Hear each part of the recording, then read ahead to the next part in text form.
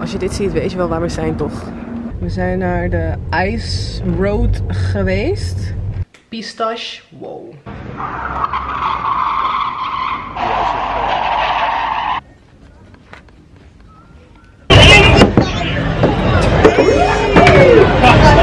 Die grote paté in Noord. En hij zou gewoon pap. Ik heb gewoon geslapen. En die ga ik jullie nu ook even laten zien.